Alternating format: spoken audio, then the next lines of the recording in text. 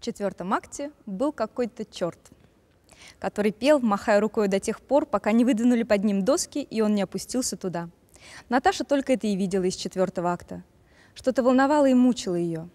И причиной этого волнения был Курагин, за которым она невольно следила глазами. Когда они выходили из театра, Анатоль подошел к ним, вызывал их карету и подсаживал их. Подсаживая Наташу, он пожал ее руку выше кисти. Наташа, взволнованная, красная и счастливая, оглянулась на него.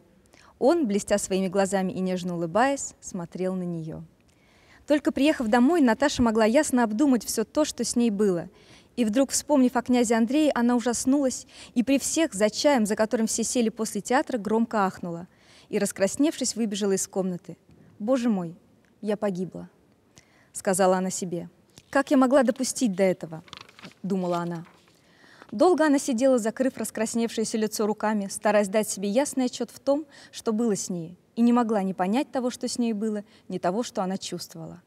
Все казалось ей темно, неясно и страшно. Там, в этой огромной освещенной зале, где по мокрым доскам прыгал под музыку с голыми ногами Дюпор в курточке с блестками, и девицы, и старики, и гордые — с спокойной и гордой улыбкой Элен в восторге кричали «Браво!», там, под тенью этой Элен, там это было все ясно и просто.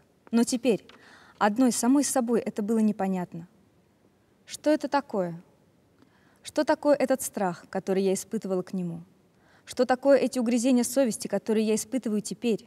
Думала она.